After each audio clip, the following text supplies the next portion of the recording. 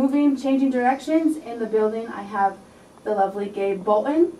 Okay, so let's get started. I'm gonna be asking you a few questions to get to know you as well as my listeners. So let's start by saying your year coaching here. What year? I am going into my eighth year. Your eighth year. And did you participate in soccer in college? I uh, went to uh, UC Davis. I actually played golf uh, for a couple of years in college, but played soccer my entire life. So what would you say? How did you become um, the girls soccer here, girls soccer coach here at CSU Stanislaus?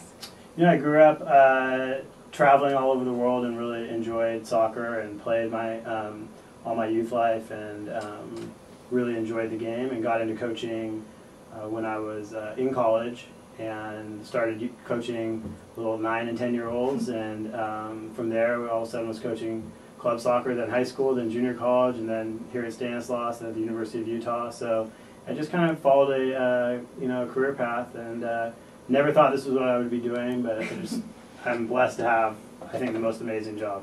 It's funny how just things like fall into place. Yeah, it really is. It really is. Okay, so taking it back, you guys won the CCA champs, the CCAA championship. Is that correct? Yeah, last year it was a good year. So can you explain the feeling you felt when you your team finished the game against Chico to win that championship?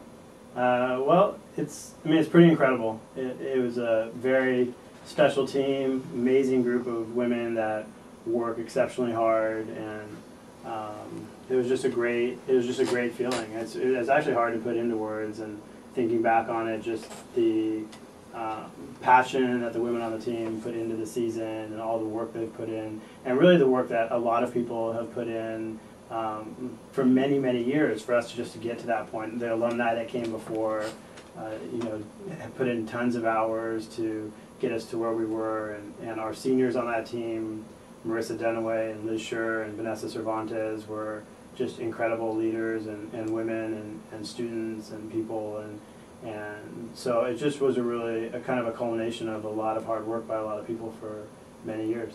Yeah. Small world. I went to high school with Vanessa Cervantes, and she tore it up oh, at St. Yeah. Mary's. St. Mary's, yeah. So shout out to you, Vanessa Cervantes.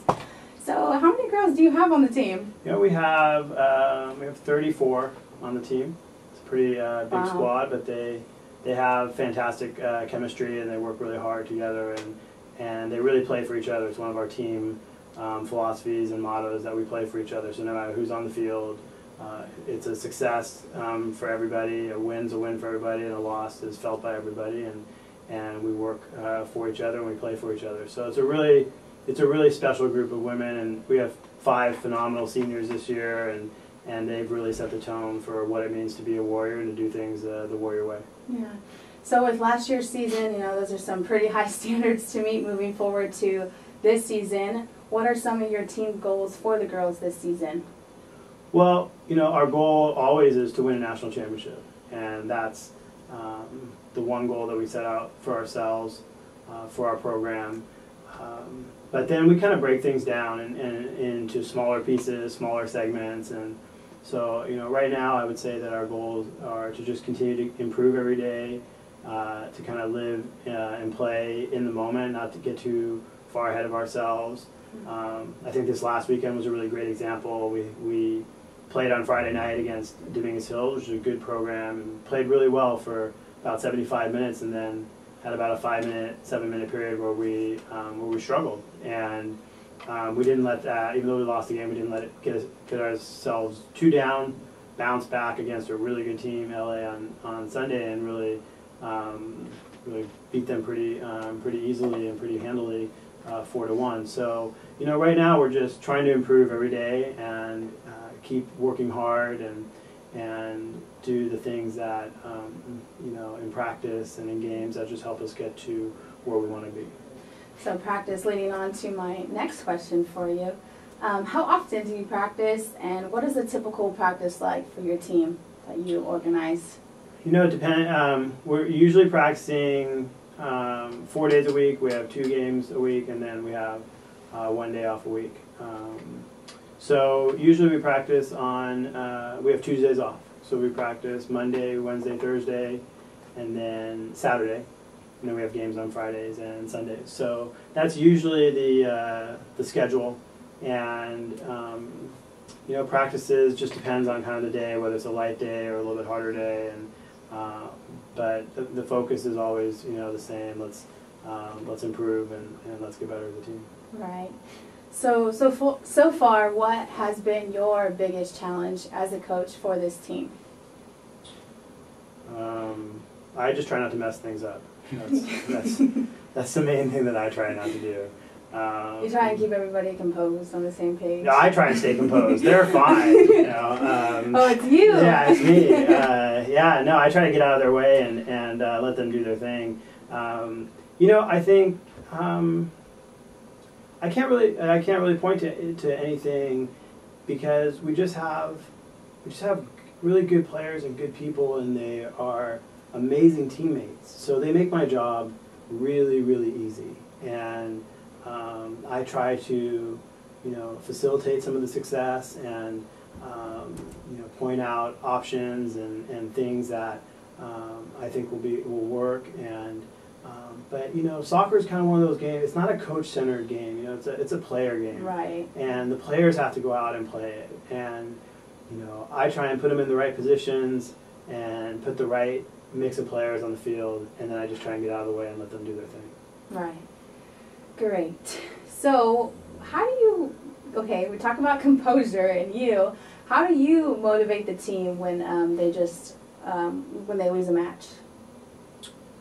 Um, that's a good question. I, uh, you know, for me, I think that we try and keep everything in perspective, and we try not to get too high um, when we win and too low when we lose, and we just kind of try and stay on an even, uh, an even keel. And um, we focus on little goals within the game, um, things that we want to do, execute, whether it's keeping possession of the ball or getting shots on goal or getting crosses into the box, just things that in our performance.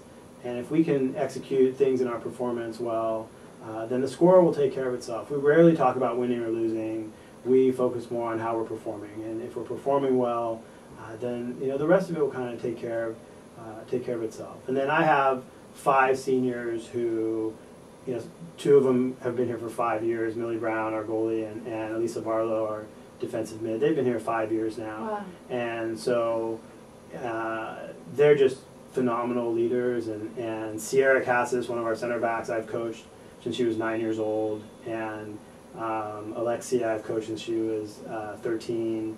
Um, Wow. And so, uh, and Bernie Betancourt, our, our other senior, is a, a midfielder, and she's a player that walked onto our program and has started every moment she's been here, and just an amazing uh, student and, and soccer player. And, and so, you know, all you have to do is look at our seniors um, if you're another player on the team and you need some motivation.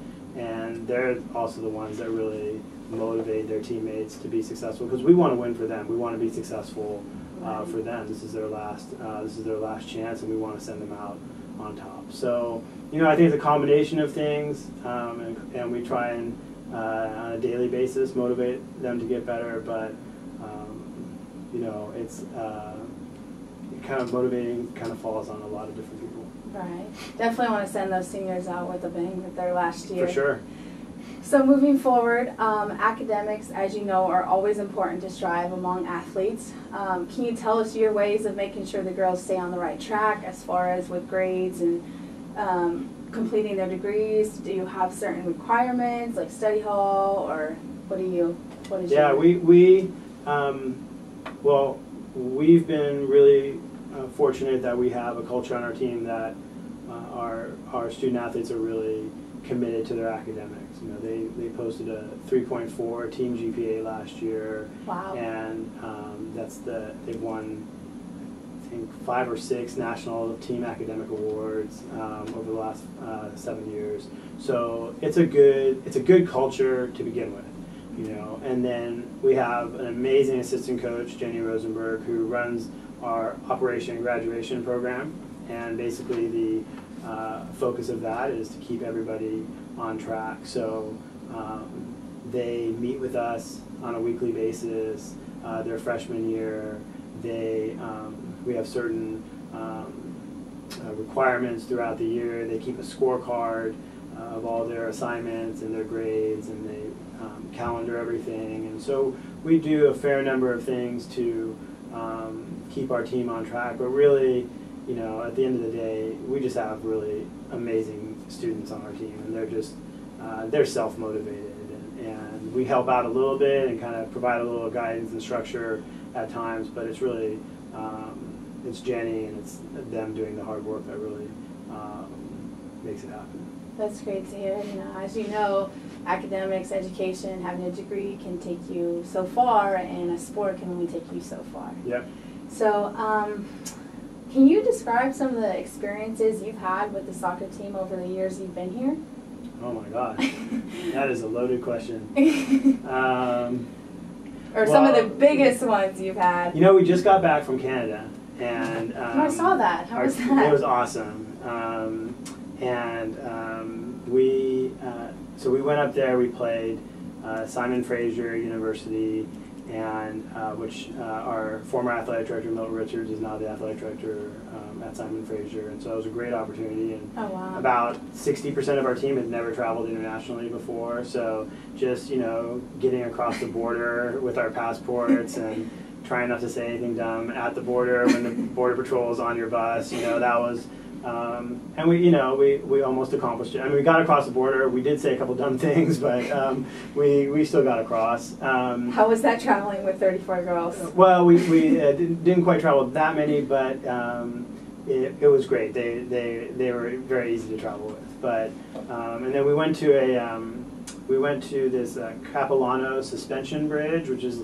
like this ridiculous bridge that is just basically suspended in air over like a 300 foot um, cavernous um, you know hole that drops down to a river. And for some reason, people think it's really cool to walk across it.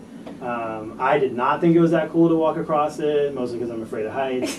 Um, the team thought it was really funny to record me crossing it, or mock me, or imitate me um, crossing the bridge, um, which is readily available on YouTube. Um, if you're ever there, please bend your knees. It really makes crossing the bridge uh, more a little bit easier. Um, but you know, every uh, you know, there's a lot of memories with the team and a lot of things. But honestly, every day we have um, we have a lot of characters on our team. Maybe like too many characters, but they make every day uh, pretty enjoyable and um, pretty uh, fun to be uh, around them. So Yeah, that sounds like a wonderful and fun team to be around. yeah. Do you have any advice for upcoming soccer players looking to play at the collegiate level? Well, if you're really talented, you should come to Cal State Stanislaus. um, that's my number one advice. Of course. Yeah, I mean for sure. Um, that was probably an NCAA violation right there. Um, but anyway, um, uh, you know, I think um, I think what gets uh, players um, to this level is uh, their love for the game. So have fun, enjoy it, work hard. Um, at the end of the day, just remember, you know, it's it's just a game. You know. Yeah. Do you have any, um, you, um, you have games coming up, correct? We do. We do. Go ahead and tell my listeners about them and how All you right. guys have prepared for them. Uh, well, um, Friday night we are playing uh, Cal State East Bay, and um, ASI is trying to break the record, um, the attendance record for Friday night. So that's It's a home game. It's a home game. Yep. We kick off at 4:30, and then the men uh, kick off at 7 uh, p.m. So uh, fans should definitely come out and see um, see both of those games. Uh, and then Sunday is Youth Soccer Day. Uh, speaking of upcoming soccer players, all youth soccer players that wear their uniform get into the game for free. And um, our kickoff is at 11:30, and the men play uh, two, and both both games are free if you wear your um, soccer uniform. So. Awesome. Um, yeah, and we play Monterey Bay on, on Sunday, so it should be uh, two really good games against uh, some good teams. All right, well, let's wrap this up. I'd like to take the time to thank you for coming to the radio station and chit chat with me about the soccer team. I wish you and your team the best of luck this season. Thank you. And that's it. Thanks for having me. Thank you.